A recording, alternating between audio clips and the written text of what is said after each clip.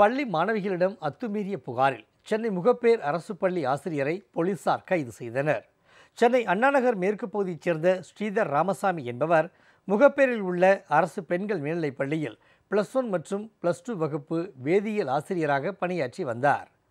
Corona ஊரடங்கு அமலில் இருந்தபோது ஆன்லைன் வகுப்புகள் நடைபெற்றதால் ஆசிரியர்கள் மாணவ மாணவிகளின் செல்போன் எண்களை பதிவு செய்து வைத்திருந்தனர்.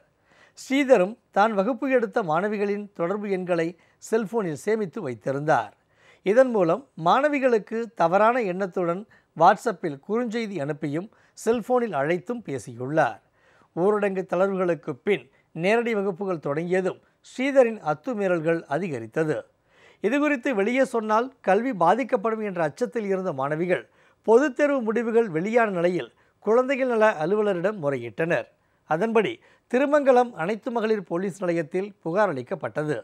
மாணவிகளிடம் ஆசிரியர் ஸ்ரீதர் பாலியல் சீண்டலில் ஈடுபட்டது விசாரணையில் தெரிய வந்ததால் அவர் மீது போக்சோ பிரிவு உட்பட மேலும் சில பிரிவுகளின் வழக்கு பதிந்து போலீசார் கைது செய்தனர்.